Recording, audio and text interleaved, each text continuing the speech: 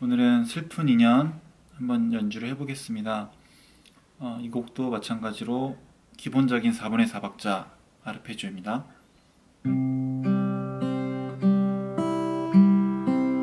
네. 근음 치고 근음 3, 2, 3, 1, 3, 2, 3 네, 대부분 이렇게 연주를 해주시면 되고요. 어, F 코드를 어, 어려워하시는 분들이 계셔가지고 어, 뒤에 보면은 후렴에 C 코드, F 코드 이렇게 어, 한 마디에 코드가 두 개 반복되는 부분이 있는데요. 어, 이 부분은 제가 쉽게 음, C 코드, 그 다음 F 칠 때 이 3번 손가락이랑 2번 손가락이 한 줄씩 내려와서 다시 4번, 3번, 2번, 3번 줄 이어서 해보면 5, 3, 2, 3 내려와서 4, 3, 2, 3번 줄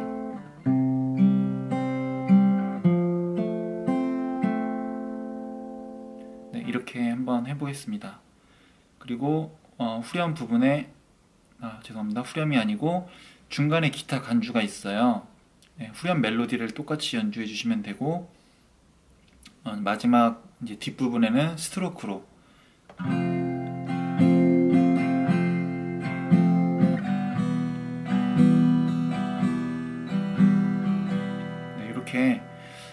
스트로크와 기본적인 아르페지오 주법을 이용해서 어, 연주해 보도록 하겠습니다. 악보 보시고 또 영상 참고하셔서 열심히 연습하세요.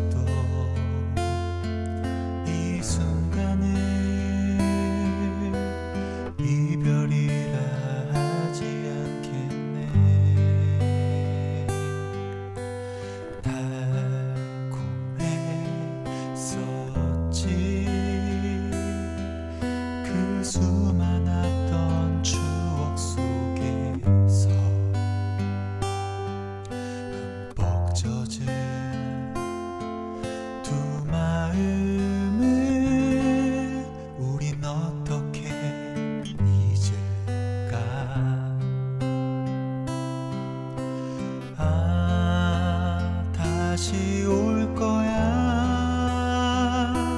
너는 외로움을 견딜 수 없어. 아 나의 곁으로 다시